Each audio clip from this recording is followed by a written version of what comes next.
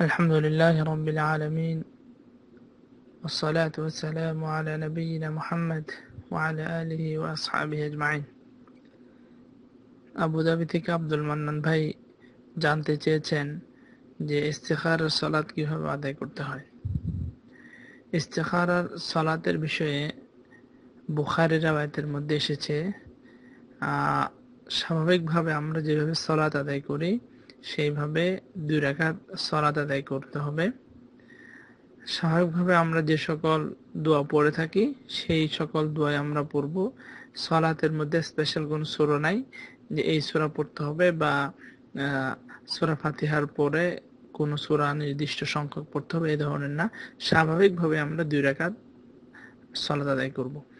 এরপরে আমরা সালাম ফিরানোর পরে এই দোয়াটা পড়ব আল্লাহ মিনিয়াস اللهم إني أستخيرك بعلمك وأستقدرك بقدرتك وأسألك من فضلك العظيم فإنك تقدر ولا أقدر وتعلم ولا أعلم أنت علام الغيوب اللهم إن كنت اللهم إن كنت تعلم أن هذا الأمر এই আন্না হাদাল আমর এই জায়গাতে আসার পরে আপনি যে নিয়তে এই ইস্তেখারা নিয়ত করতেছেন এই সেখানে এই জিনিসটা উল্লেখ করবেন আপনি যে আপনার সফর করতে যাচ্ছেন বা নির্দিষ্ট কোনো বিষয়ে ব্যবসা বাণিজ্য করতে যাচ্ছেন যে বিষয়ে আপনি ইস্তেখানা করতেছেন সেই বিষয়টা এখানে উল্লেখ করবেন আল্লাহ ইন কুনতা তা'লামু আন্না হাদাল আমর خير لي في ديني ومعاشي وعاقبة أمري فاقدره لي ويسره لي ثم بارك لي فيه وإن كنت تعلم أن هذا الأمر شر لي في ديني ومعاشي وعاقبة أمري فاصرفه عني واصرفني عنه وقدر لي الخير حيث كان ثم أرضيني به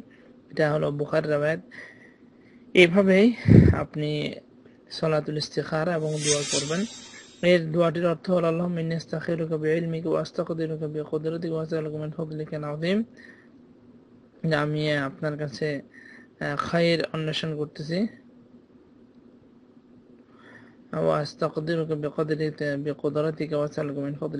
এবং আপনার শক্তির দ্বারা আমি সাহায্য কামনা করতেছি। এবং আপনার অনুগ্রহ আমি কামনা করতেছি।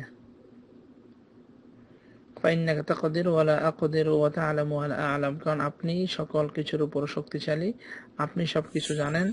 আর আমাদের কোনো শক্তি নাই, আমরা কিছু জানিও না। আন্তা গয়ুব। আপনি সকল গ্যাবের বিষয়ে একমাত্র জ্ঞানের অধিকারী। আল্লাহ আপনি যদি ইয়ারব আপনি যদি জানেন যে আমার এই বিষয়ে, যে বিষয়টা আমি করতে চাচ্ছি যে ব্যক্তি দোয়া করবেন, উনি সেই নিয়ত করবেন সেখানে। যে, এই বিষয়টা যদি আমার জন্য মঙ্গল হয়, আমার দিনের ক্ষেত্রে, আমার দুনিয়াবি ক্ষেত্রে ও আকিবেতি আমরি এবং আমার শেষ পরিণতিতে ফাকদের হলি, ওয়াসের হলি এবং তাহলে আমার জন্য এই কাজটি সহজ করে দেন তোমার বারেক লিহি এবং তার মধ্যে বরকত দান করুন। ওয়াইন কুন্দা আলম আন্না হাদ আলম সারুল লিফি দিন ও মাআশি ও আকিবেতি আমরি, আর যদি এই বিষয় আমার দুনিয়া খেরাত এবং সার্বিক বিষয়ে অকল্যাণ হয়, তাহলে ফসরিফ আননি আমাকেও সেই কাজ থেকে দূরে রাখুন এবং সেই বিষয়টিকেও আমার থেকে দূরে সরিয়ে দেন। আর যে বিষয়টা আমার জন্য কল্যাণকর, সেটি আমার জন্য আপনি নির্ধারণ করুন এবং আমাকে সেই বিষয়ে সন্তুষ্ট হওয়ার তৌফিক দান করুন। আল্লাহ আলম আল্লাহ নবীন মোহাম্মদ আলহি ওসহাবি আজমাই